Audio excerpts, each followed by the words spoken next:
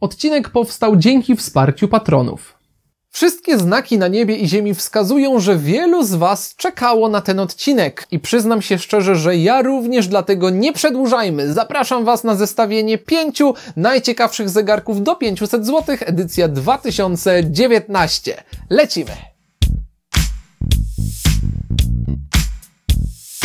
Cześć, witajcie w kolejnym odcinku TikTok, czyli pierwszego programu o zegarkach na polskim YouTubie. Ja nazywam się Krzysiek Humeniuk, a jeżeli Wy oglądacie moje materiały po raz pierwszy i chcecie wiedzieć o zegarkach jeszcze więcej, zasubskrybujcie ten kanał i kliknijcie w dzwonek, żeby nie przegapić kolejnych odcinków. Tak jak już wspominałem we wstępie, w tym odcinku dokładnie po roku powracamy do tematu najciekawszych zegarków do 500 zł i ponownie mierzymy się z wyzwaniem polegającym na wytypowaniu pięciu najbardziej opłacalnych wyborów w tym budżecie. To już trzecia edycja tego zestawienia na kanale TikTok. Dwie poprzednie okazały się być jednymi z najpopularniejszych materiałów do tej pory, ale tak jak już z przedmiotami bywa, z czasem ich cena mocno się zmienia. Nawet nie czuję jak rymuje. Podobnie sprawa ma się z niektórymi zegarkami, które od czasu publikacji pierwszego zestawienia zdążyły albo zniknąć z rynku, albo w całości się wyprzedać, albo co najgorsze, podrożeć. Dlatego kolejny rok to kolejne zestawienie, które przygotowaliśmy dla Was wraz z grupą patronów TikTok. Zebraliśmy najlepsze, najbardziej aktualne i mieszczące się w budżecie 500 zł propozycje, dzięki którym nawet przy niezbyt zasobnym portfelu będziecie w stanie znaleźć dla siebie coś godnego uwagi. Oczywiście linki do wszystkich wymienionych propozycji znajdziecie w opisie. Skorzystajcie z nich, jeśli będziecie chcieli znaleźć zegarki z odcinka w najlepszych cenach. A teraz już przechodzimy do sedna sprawy.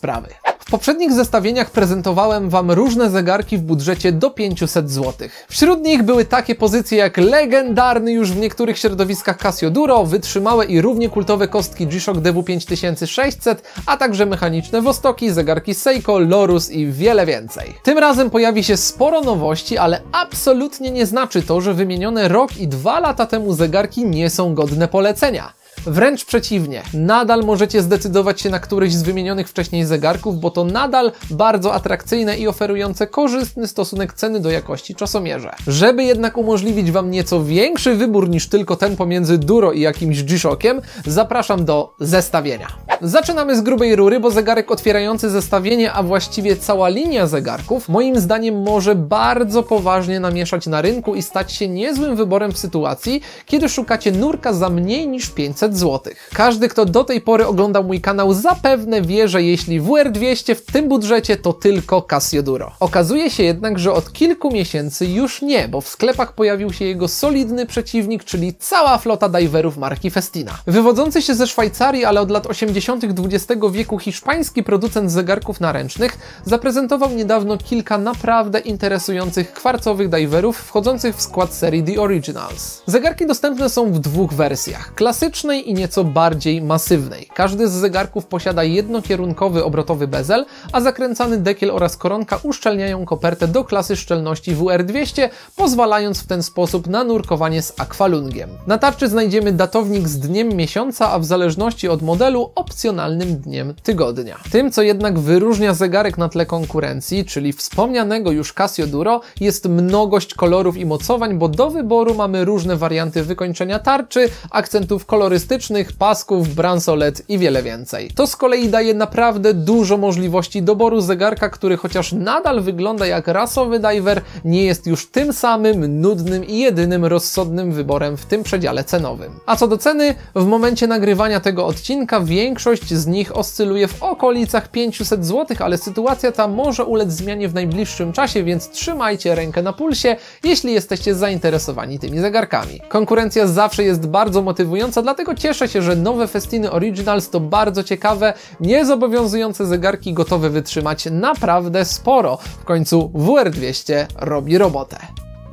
Kolejnym hitem ostatnich miesięcy i jednocześnie drugim zegarkiem z tego zestawienia jest inspirowany wyścigowymi chronografami vintage czasomierz pokroju Hojera Monaco, Tudora Monte Carlo albo Seiko Speed Timera. I do Speed Timera chyba mu najbliżej, przecież jakby nie było, Lorus to marka należąca do Seiko. Tak czy inaczej, kwarcowy mechanizm Seiko kaliber VD53 umieszczono w masywnej 44 mm stalowej kopercie z ostrymi krawędziami, która dobrze komponuje się z maskownicami Bransol fiolety w wersjach z bransoletą oczywiście. Wersji kolorystycznych znajdziecie całkiem sporo, ale chyba najpopularniejszą obecnie jest pomarańczowa i to ona najczęściej pojawia się na nadgarstkach grupowiczów. Zajrzyjcie jednak do opisu po inne opcje. Moim zdaniem najciekawsza to ta w czarnej kopercie z oliwkowo-zielonymi elementami. Wygląda naprawdę zjawiskowo i chociaż jest mało retro, to i tak moim zdaniem prezentuje się świetnie, zresztą tak samo jak cała linia. Niestety nie wszystko w zegarkach Lorus zasługuje na pochwałę i warto o tym wspomnieć, że pomimo umieszczenia skali tachometru na lunecie zegarków, mechanizm nie jest wyposażony w chronograf z centralnym sekundnikiem. Sekundnik w tym modelu działa jak każdy inny, a sekundy działającego chronografu odmierzane są na małej subtarczy, co czyni tachometr w zasadzie bezużytecznym. Niektórych to irytuje, innym nie robi większej różnicy, dobrze jednak o tym wiedzieć przed ewentualnym zakupem. Ceny zegarków zaczynają się już od około 250 zł, ale też potrafią przekroczyć 400.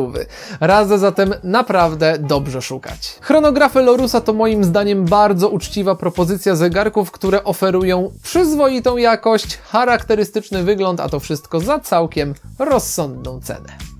Jeśli pamiętacie zegarki z poprzednich odcinków tej serii, to kolejna propozycja nie będzie dla Was dużym zaskoczeniem, bo jeśli dysponujecie maksymalnym budżetem w wysokości 500 zł i szukacie wytrzymałego zegarka na co dzień, to jednym z bardzo dobrych wyborów w tej kwocie będzie oczywiście Casio G-Shock. Dotychczas, kiedy mówiłem o G-Shockach, zwykle miałem na myśli albo współczesne edycje pokroju GA100, albo klasyczne edycje DW5600. I rzeczywiście są to całkiem niezłe zegarki, szczególnie w tym budżecie, ale w tym zestawieniu chciałbym polecić Wam model, na który ja sam bardzo chętnie bym się zdecydował i mam tu na myśli referencję GWM 5610. Z zewnątrz wygląda jak typowa, klasyczna kostka i trudno dziwić się temu skojarzeniu, bo design zegarka jest wzorowany na pierwszym G-Shocku, czyli referencji DW5000, ale prawdziwe różnice zauważalne są dopiero po przyjrzeniu się funkcjom, w jakie wyposażono tego G-Shocka. Można powiedzieć, że jest to G-Shock na sterydach, bo na pokładzie znajdziecie takie technologie jak